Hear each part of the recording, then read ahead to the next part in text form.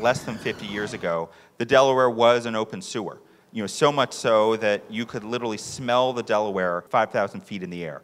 And since the passage of the Clean Water Act, we've seen a massive recovery.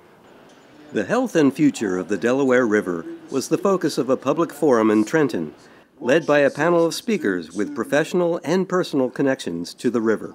I always have loved water and have a degree in environmental science, so when I moved to Philadelphia, I immediately became connected to the river. I grew up as a water rat in New Jersey, on the water, in the water, whenever I could. You know, I grew up on the river too. I, am a big fisherman. I go out there now, I can catch smallmouth bass, largemouth bass. There's a shad run. It's just truly amazing, the improvement. Are we there yet?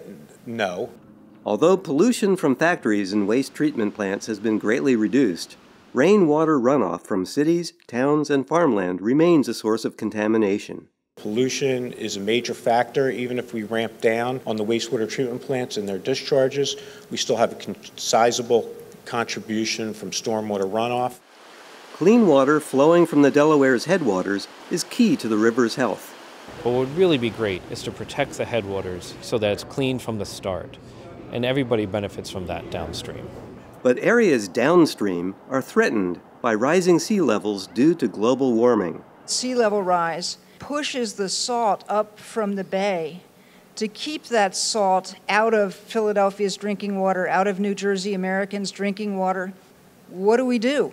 And then from the natural side, the Delaware has incredible freshwater tidal wetlands. So if that salt creeps up, what's going to happen to that, those freshwater wetlands. So it's going to take a lot of really strong brain cells to come up with solutions. We're examining every rule um, and every statute and see how those rules may be modified to reduce emissions and to create resiliency.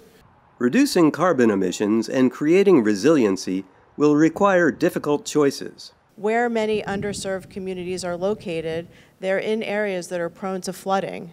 What are we going to do? I mean, some of these people are going to have to move. Kathy has a, a very good point about retreat, but you have to understand that um, the shore, our coast, is such an important economic driver for the state that that isn't going to be something that people are going to accept right away. The panelists encouraged bottom up citizen involvement.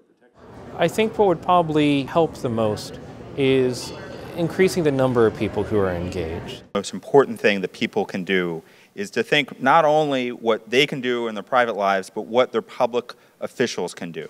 And so call your representatives, write a letter to the editor, show up at public hearings.